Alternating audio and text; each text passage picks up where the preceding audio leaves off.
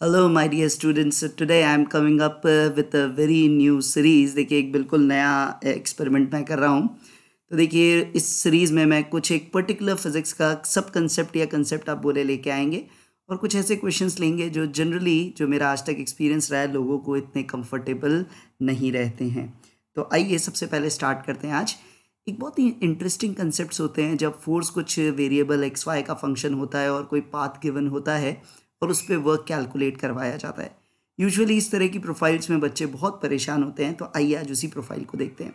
तो सबसे पहले जो बेस है अपना फोर्सेस को जैसे आपको पता है we divide into conservative and non conservative forces conservative forces are those forces अपन बोलते हैं, जिनका वर्क किसी दो पॉइंट के बीच में, आप किसी भी रास्ते से जाओ work is going to remain the same work does not depend on the path basically what we say work done between two point is independent of the path that you are taking so यहाँ पे आप बोलते हो कि work is independent of the path that means for different paths different paths between the same two points different paths between same two points you will have same amount of work that would be obtained by the force similarly non-conservative forces are those forces जिनके लिए आप बोलते हैं work done will be differing between two points for different path that means for same point a and b typically we uh, draw this uh, particular diagram that you all are familiar this is point a and this is point b you go by this path or you go by this path if the force is conservative the work done in both the paths will be same and if the force is not conservative the work would be different in the different paths now how to judge whether a force is conservative or non conservative this is basic definition but फिर भी आप बोलते हैं देखिए कुछ अपने पास trademark तरीके होते हैं कंजर्वेटिव फोर्सेस पहचानने के क्या क्या वो तरीके हैं? सबसे पहले याद रखिएगा। जो भी कांस्टेंट फोर्स है कांस्टेंट फोर्स का मतलब मैग्नीट्यूड और डायरेक्शन दोनों कांस्टेंट कांस्टेंट फोर्स हमेशा कंजर्वेटिव होगी। ऐसा कोई भी फोर्स है, जो कि इस तरह से लिखा हुआ है आपको। F X I cap plus F Y J cap या एफ़ एक्स में केवल एक्स का फ़ंक्शन हो और एफ़ वाई में केवल वाई के वेरिएबल्स आ रहे हो, तब भी कंजर्वेटिव होगा। समझिए एफ़ एक्स केवल एक्स पे डिपेंड कर रहा है और एफ़ वाई केवल वाई पे डिपेंड कर रहा है एफ़ एक्स कॉन्स्टेंट है एफ़ वाई कॉन्स्टेंट है मतलब खिचड़ी नहीं बन रही है। एफ़ एक्स में वाई का एक्सप्रेशन नहीं है एफ़ वाई में एक्स का एक्सप्रेशन नहीं है, तब भी फोर्स आप मानिए कंजर्वेटिव होगा। ऐसी आपको पता है जो रेडियल फोर्स फ़ंक्शन होते हैं सेंट्रल फोर्सेस जैसे आपका कोलम्बिक फोर्स ग्रेविटेशनल फोर्स वो सारे भी आपके कंजर्वेटिव फोर्सेस होंगे, जहाँ पे फोर्स कुछ इस तरह का आता है function of R and plus minus R cap something like that इस तरह के फोर्सेस भी कंजर्वेटिव होंगे। फिर एक और स्पेशल तरीका होता है, जहाँ पे एक्स और वाई की खिचड़ी बनती है, इस तरह का आपको एक्सप्रेशन गिवन है। यहाँ पे अपन कहते हैं, अगर ये कंजर्वेटिव है, कब हो सकता है बेटा ये कंजर्वेटिव यहाँ देखिए, अपन कहेंगे कंजर्वेटिव तब होगा if del F X by del Y partial derivative of F X with respect to Y will be same as del F Y by del X अगर ये क्राइटेरिया सेटिस्फाई करता है तो आप बोलोगे फोर्सेस कंजर्वेटिव है। अदरवाइज़ देखिए, अपने को चेक करना इतना मुश्किल रहेगा बट टिपिकली ये कुछ मार्कर्स हैं जिससे आप चेक कर सकते हैं कि फोर्स कंजर्वेटिव होता है या नॉन कंजर्वेटिव ना अब देखिए, अपन जिस प्रोफ़ाइल पे आज अपना डिस्कशन करना चाह रहे हैं let's say start with that just read this question first of all आपको एक फोर्स गिवन है जो पार्टिकल एक्स वाई प्लेन में कन्फाइंड है चलने के लिए। फोर्स भी एक्स वाई प्लेन में है। Force is given as two I I cap plus X J cap देखिए, ये एफ़ एक्स के फ़ंक्शन में वाई है एफ़ आई के फ़ंक्शन में एक्स है खिचड़ी बन रही है। और अभी जो मैंने आपको मार्कर सिखाया है, अगर मैं del F X by del Y यहाँ पे करता, अगर लेट से मैं यहाँ पे del F X by del Y करता तो वो वैल्यू आती टू और del F Y by del X अगर मैं करूँगा तो वो वैल्यू आएगी टू एक्स तो ये इक्वल नहीं है, इसका मतलब this force is not conservative अब कंजर्वेटिव फोर्स नहीं है तो दो पॉइंट्स के बीच में वर्क मैं डायरेक्टली नहीं बोल सकता। मुझे देखना पड़ेगा किस रास्ते से जा रहा हूँ। अलग अलग रस्तों से जाऊँगा तो वर्क अलग अलग होगा। यहाँ क्वेश्चन कभी नहीं पूछेगा वर्क डन कितना होगा ओसे सी जाते हो। ये भी बताएगा ओसे सी कैसे जाना है। जैसे यहाँ देखिए पार्टिकल इनिशियली ओरिजिन पे है और finally C point five comma five meters पे जाना चाह रहा है। आपको वर्क डन निकालना है इस फोर्स का फ़र्स्ट पहली बार। जब ये कौन से रास्ते से जा रहा है? First time when it goes by this path O A C पहले ओ से ए गया, फिर ए से सी गया। यात्रा को दो किश्तों में अपन ने लिया है। ओ टू ए केवल एक्स एक्सिस पे मूवमेंट है। ए टू सी केवल वाई एक्सिस पे मूवमेंट है। अब देखिए इसको कैसे करेंगे अपन। सबसे पहले देखिए, जो ओ ए सी वाला पार्ट मैं यहाँ पे लेना चाह रहा हूँ ओ ए सी का पार्ट ठीक है? तो अब देखिए सबसे पहले, इसमें पहला पार्ट अपन लेंगे ओ टू ए ओ टू ए देखिए, प्यार से देखिए ओ टू ए में केवल डिस्प्लेसमेंट किधर है? ओनली अलॉन्ग एक्स एक्सिस इसका मतलब एफ़ वाई का कोई यूज़ नहीं है, क्योंकि जो फोर्स है वो केवल एक्स के अलॉन्ग जो है, वही कंपोनेंट काम आएगा एफ़ वाई कॉम्पोनेंट तो परपेंडिकुलर होगा। अब ओ टू ए के अंदर आपको पता है, इस पाथ की इक्वेशन में वाई की वैल्यू हमेशा ज़ीरो है, और यहाँ पे केवल एफ़ एक्स वर्क कर सकता है, केवल एफ़ एक्स काम का हो सकता है। अब एफ़ एक्स की वैल्यू यहाँ पे क्या गिवन है? टू वाई एफ़ एक्स किस गिवन एज टू वाई इसका मतलब क्या है? ये काम का तो हो सकता था, पर ये काम नहीं आएगा। क्यों? क्योंकि भाई इस पूरे रास्ते पे वाई तो ज़ीरो है मतलब ये ज़ीरो हो गया। अब फोर सी ज़ीरो है ना रहा बाँस ना बजी बांसुरी। अब फोर सी नहीं है तो वर्क कौन सा होगा? तो ओ टू ए वाले रास्ते का जो वर्क है, वो ज़ीरो हो गया। अब देखिए उस रास्ते का दूसरा part A to C A to C में इसी लॉजिक से देखोगे आप बोलोगे अब सर यहाँ तो केवल वाई में जा रहा है। इसका मतलब एफ़ एक्स केवल फ़ोटो खिंचा रहा है नो यूज़ यूज़ किसका हो सकता है? एफ़ वाई का। अब एफ़ वाई इस लाइन को देखिए, इस लाइन पे क्या चीज़ कांस्टेंट है? आप देखोगे यहाँ पे वाई कोऑर्डिनेट चेंज हो रहा है बट एक्स कोऑर्डिनेट फिक्स है, क्या है? इस लाइन को अगर बोलोगे तो that is X equal to five meter तो यहाँ पे एफ़ वाई की वैल्यू जो थी एक्स स्क्वायर वो कांस्टेंट हो गई that becomes twenty five so basically force क्या हो गया? ट्वेंटी फाइव जे क्या यही काम का है. अब force twenty five plus Y में है कॉन्स्टेंट है और फाइव मीटर चल रहा है तो डायरेक्टली वर्क डन आप ए टू सी तक बोल सकते हो force into displacement twenty five into five that is one twenty five joule positive so O to A to C पूरे के लिए आपका वर्क कितना निकल के आ रहा है? Plus one twenty five joules तो ये आपके लिए एक सिंपल सी प्रोफ़ाइल यहाँ पे बन के आ गई। ये वर्क डन आपने देखा कितना आ गया? Plus one twenty five joules okay अब देखिए नेक्स्ट बात ये क्या बोल रहा है? O to B to C O B C अब आपको ओ बी सी पाथ के ऊपर जाना है। ओ टू बी अगेन उसी लॉजिक से चलिए। ओ टू बी में अगर अपन देखेंगे, बेटा, जैसा भी आपको सिखाया अब आप आराम से देख सकते हो। ओ टू बी जब आप जा रहे हो तो यहाँ पे एफ़ एक्स का कोई काम नहीं आएगा, केवल एफ़ वाई यूजफुल हो सकता है। और इस लाइन की इक्वेशन है एक्स इक्वल टू ज़ीरो तो यहाँ पे किस्मत से एफ़ वाई की वैल्यू ज़ीरो आ जाएगी। तो अगेन ओ से बी तक वर्क के नाम पर नील बटा सन्नाटा।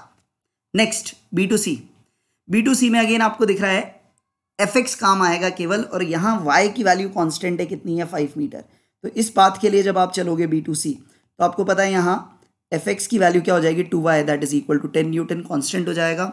डिस्प्लेसमेंट अब देखिए बी टू सी एक्स में फाइव का डिस्प्लेसमेंट है तो यहाँ पे जो वर्क डन आएगा आपका तो डायरेक्टली मैं बोल सकता हूँ work done in this path O B C that would be equal to that ten into five that is plus fifty joules तो अब देखिए ओ ए सी वाया ए गए थे तो वर्क डन था plus one twenty five joule via B गए तो work done आया प्लस फिफ्टी जूल तो वर्क दोनों केसेस में आपको दिख रहा है सेम नहीं है। अब इसका मतलब डेफिनेटली ये कंजर्वेटिव फोर्स तो नहीं है, वो वैसे भी पता चल गया था अपने को। Last part O to C ये बड़ा इंटरेस्टिंग है।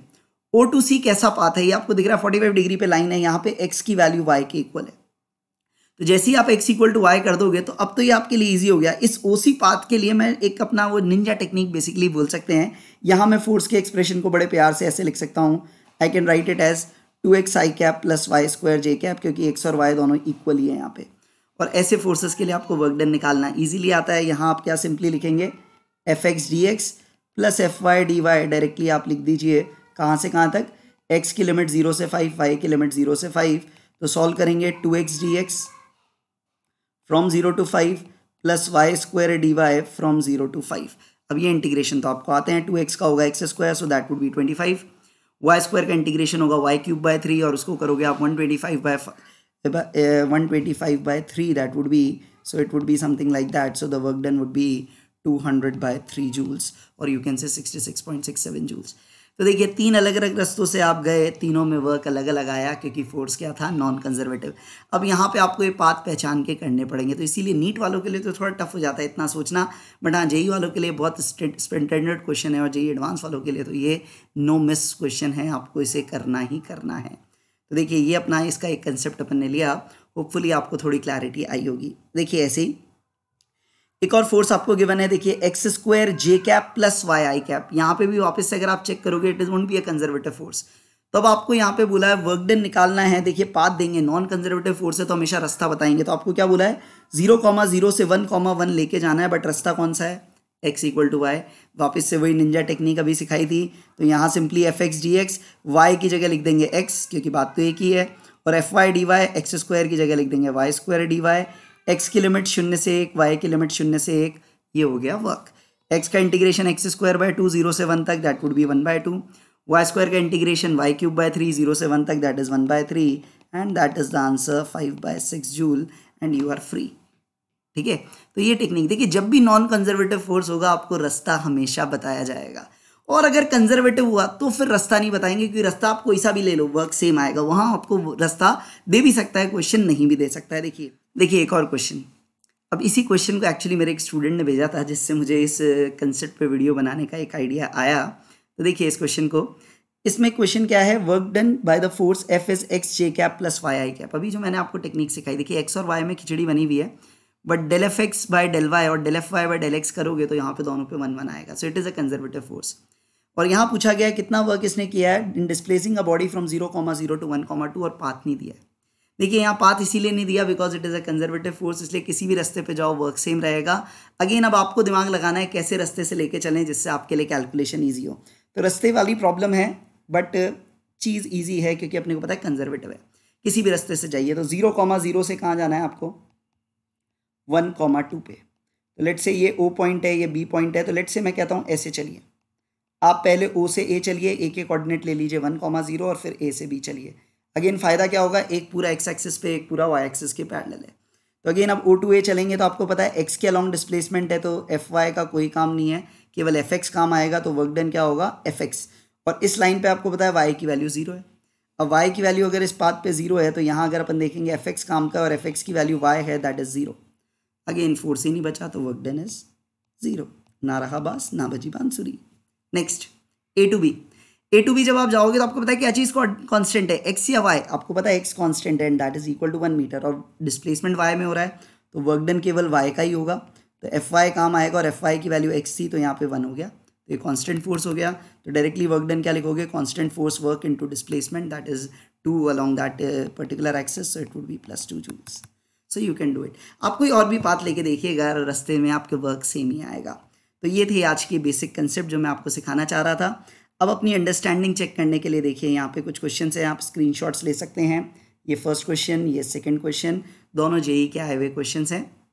आप स्क्रीनशॉट ले सकते हैं, ठीक है? First question second question and similarly यहीं पे आप ले लीजिएगा ये third question and I just okay okay let me let me let me zoom it up I think this would be clear to new you okay okay let me move my picture slide a bit so help you to understand what uh, is the question. So let me let me let me uh, reduce my photo size. Okay. So take the screenshot and try this question. Okay. So third one and this is the fourth one. I'll update the answer of all these fourth. And remember the fourth question is multiple option correct? There could be more than one option which could be right in this question.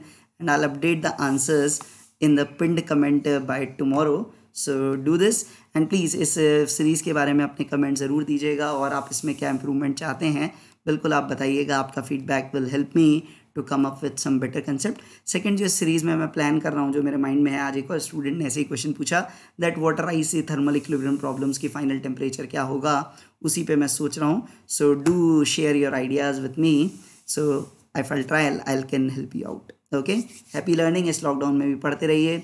Continuity maintain रखिए all the best